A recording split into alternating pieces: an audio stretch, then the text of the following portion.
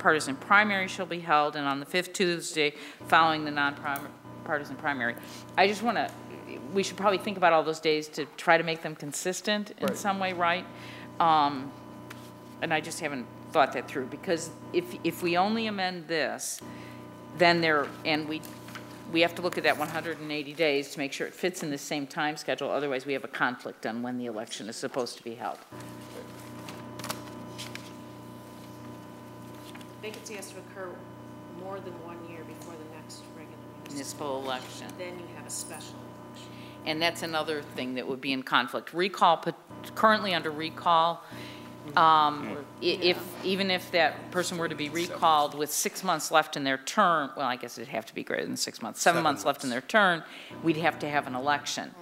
If a regular vacancy occurs because something happens to the mayor, it's, i- and there's a year left on the term, then the person who fills in Fills succeeds, it just finishes the term. Right. So there's a conflict there as well.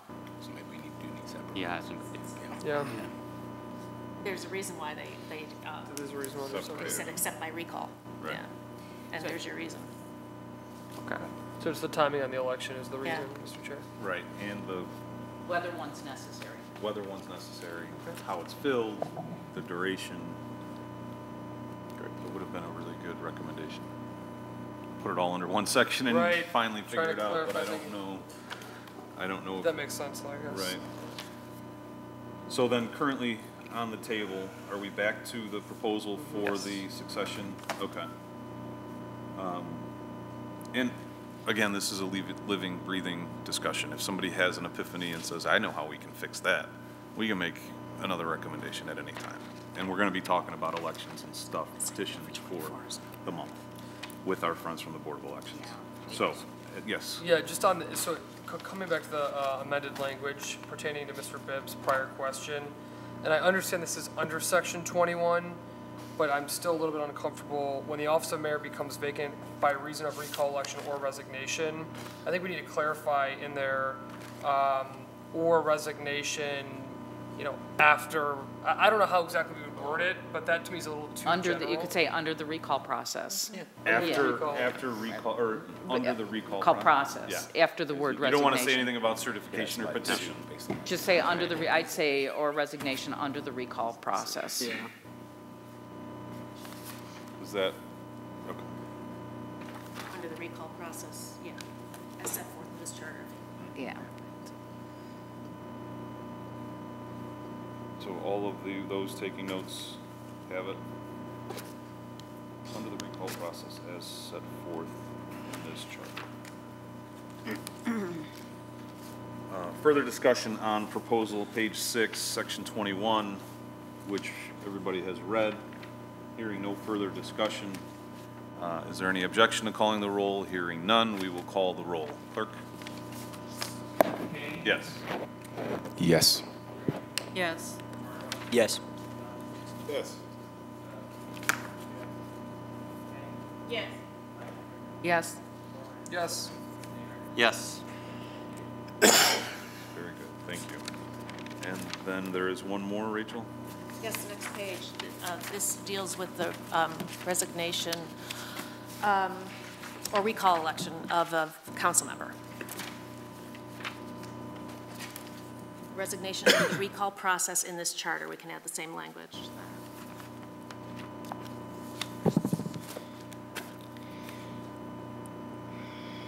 Should probably note.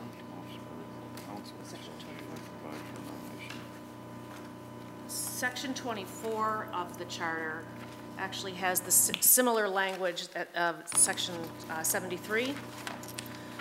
Um, If at any time the office of member of council is vacant by reason of non-election, death, resignation, removal of residents from the ward, um, except when the vacancy is caused by recall petition. And uh, so there's a reason for that, as we've determined um, with respect to uh, the mayor's recall.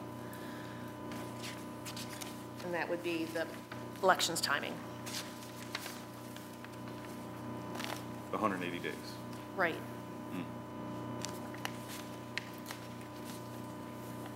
Questions? Yes, I think we're allowing council to appoint the replacement gives an incredible incumbency advantage to that person appointed. Um, That council is essentially acting for the people of that ward who had no hand in electing those council members. So it- it, it's not the most democratic way of going about it. I'm not sure what the best alternative is. If there's a way that we could have another line of succession within the ward. Um, And I think this also goes, we'll- I'm sure we'll get into it next week, but to section 24. Right. Uh, It just, it, it gives an incredible incumbency advantage to that person that's appointed. Um, And I I think that's something to consider. Yeah, and I know we've talked about this at length, the problem, I mean, the- somebody has to do the job, right? I mean, It under is the federal. current process. What?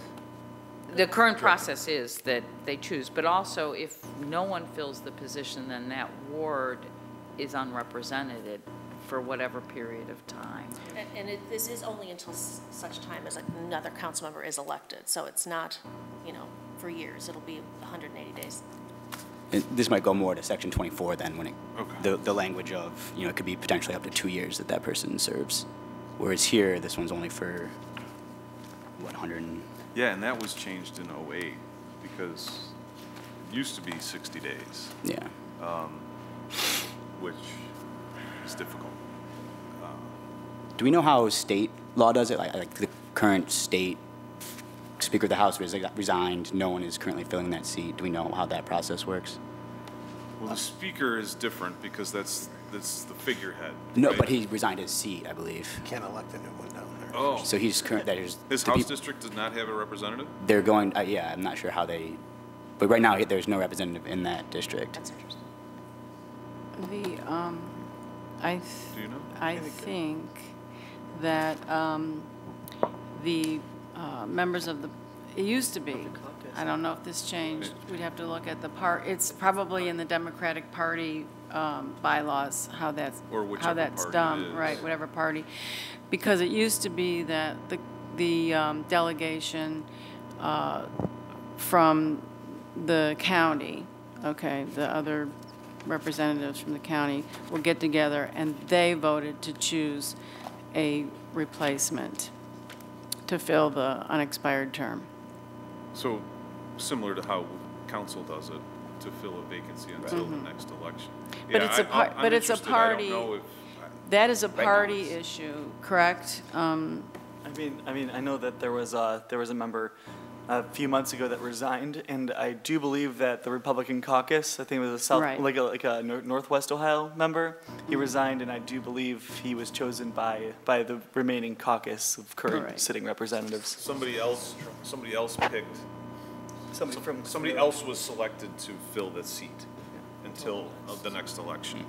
Yeah, I was always under the impression, and I think, I thought it was Federal Voting Rights Act, I mean, if there's, uh, if there's a certain constituency, and there's a vote called, nobody else can, somebody has to represent those people, right?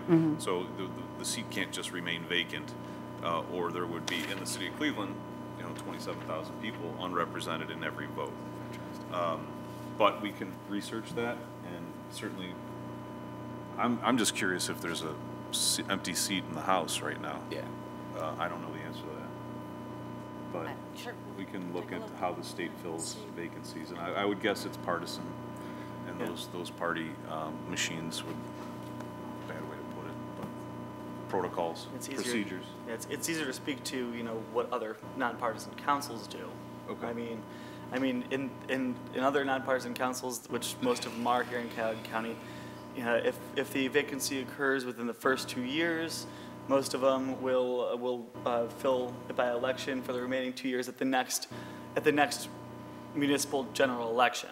Um, and if, if the vacancy happens in the second two years, then they are appointed to council for the remaining two years, and that's kind of just it. Appointed by, But by the remaining members of council. okay. Yeah, So if it occurs in the first two years, who fills the seat during the meantime of that election? Same. Same, they'll, yeah, they'll uh, appoint until that unexpired term election, um, but yeah, they'll, they'll Just sit there until that time. The special election happens sooner than, Right. The next It's, it's not the entire Right. term, Gotcha. it's, so. Shortened term. A shortened term. Um, Mayor Leiken, Leiken, Leiken from Shaker Heights became chief of staff for the county, so he, that election is now on, November's election to fill that because it was more than two years left. Uh, it- Okay. uh, Actually, he's up next year. He's, he's up, up next year. Their, their, their charter specifies a shorter period of time. Who's currently acting as mayor of Shaker Heights? Um, Is it a- the son? I, I, right, Pardon? But I mean, is it, is it by their charter to specify? Yeah. Or is it the council president, or? yep. Yes. Okay, You have a charter that you- okay. So bringing it back to this recommendation, i- mean, I understand the filling the vacancy, and I think we're gonna hit that in twenty-four. Um, But we can certainly continue the discussion. It's an important discussion to have. But my opinion, my understanding was always, whatever that boundary is, needed a representative in that seat. And we've come up with, you know, we catch fire all the time for appointing people, but if we want to do work, we need somebody there participating in the process and casting a vote for each individual resident of the city of Cleveland, in our case. Mr. Chairman? Yes, Councilman. If you don't have anybody there, if, not only do you not have a vote, but the people in, in that community don't have a say Right. if you leave it vacant. Right. That's definitely true.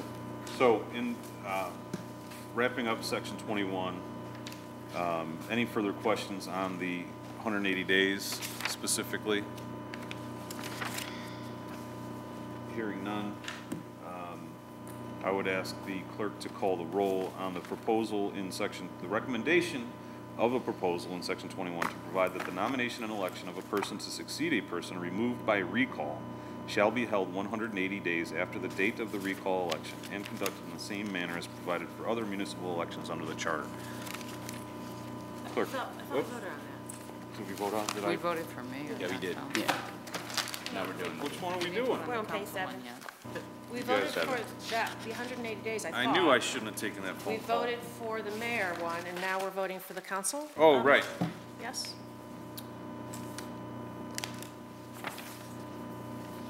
Page seven. Acting council member between the time the council member is recalled or resigns as a result of recall. Yes. All right, everybody on the same page except me? Yep. Yep. Clerk? Yes. Yep. Yes. No. No. No. Yes. Yes. Yes. Yes. Yes.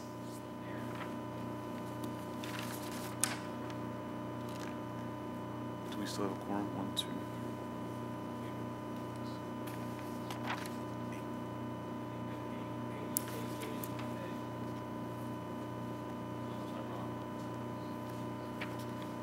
You're right, correct. Thank you. Um, And nine members present, we still have a quorum, and we should move before we lose anybody else. Any other, huh? We got nine. Any more recommendations from the Board of Elections on chapter three, elections?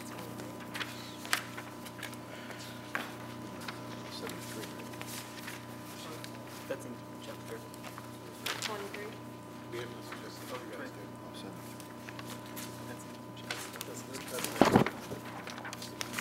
Oh, That's in Yes. two weeks. Which, I think you just had comments on the last. I have too many packets. We, um, we're only looking at chapter three, though, guys. Any further from the board? I have three different. Because you guys are going to come back next week, or in two weeks, and What talk about the other one. Things, uh, that's, yeah, that's, that's the. Section seventy-three, that's in chapter seven. That's Yeah, That's Or- in two weeks, right? a different chapter.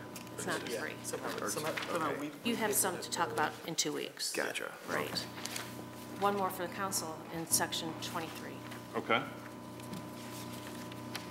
Then we can go home, or go eat. Go ahead. In what Uh, page? it's Section 23, limitations on recall elections. Um, The proposal is to extend the time period during which recall petitions cannot be filed against the mayor or a member of council.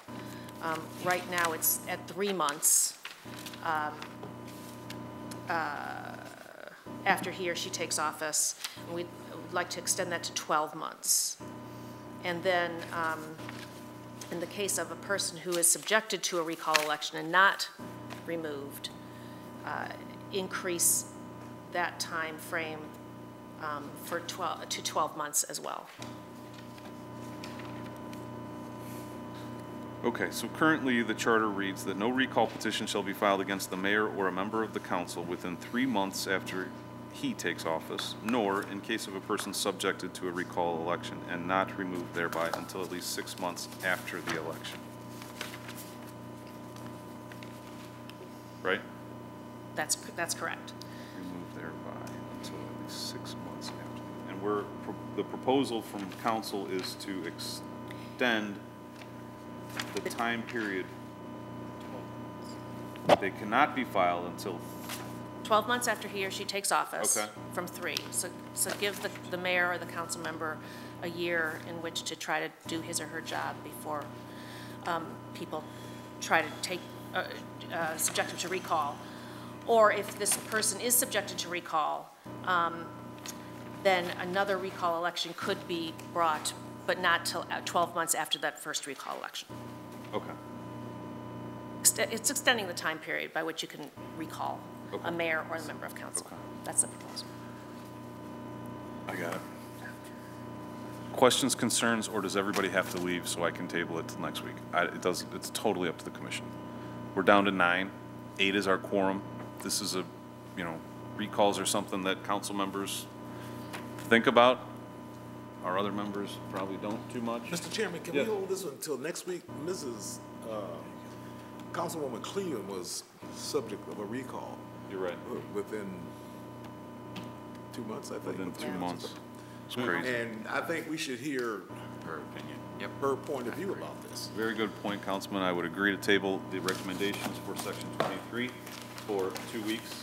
Um, Thank you to our partners. We're going to see them again, hopefully, all three of you in two weeks when we meet on uh, the next sections, number which is Part C, Chapter 5, the council, Chapter 7, initiative and referendum, and Chapter 9, conflicting ordinances. I also did get a recommendation, and I'm not going to ask, I just want people to start thinking about for discussion next week, including our friends from the Board of Elections. I received an email um, pertaining to scattered elections and by, and separating council from the mayor out, whereas, say, council would be every four years and the mayor would be the two years, right? So, um, not having the council and the mayor on the same ballot on the same year, uh, I don't think we have time to talk about it now. It's gonna be a big discussion, and, um, I just want people to think about it. Currently today, if you don't know, all of council and the mayor of the city of Cleveland run on the same ballot.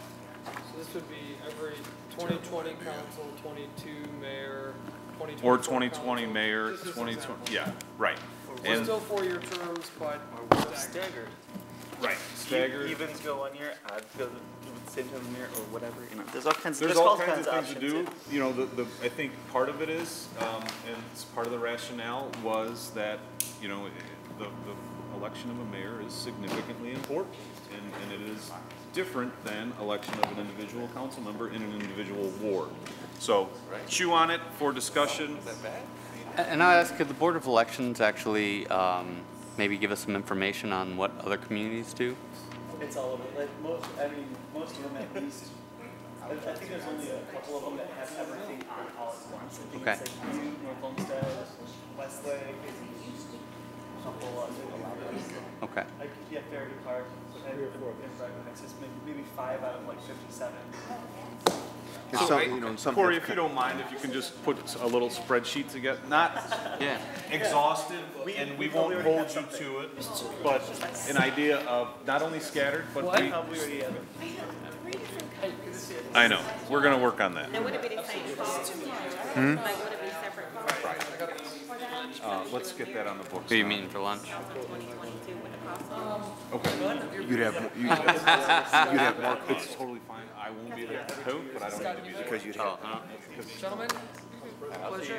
A couple hours? I want him there, yeah. So we'll walk back and talk to Cindy. Thanks, guys. Sorry it went a little long. We had a lot to do. Council Chair. Okay. This is ridiculous. We gotta get a better system of papers. I lost, tra- I completely.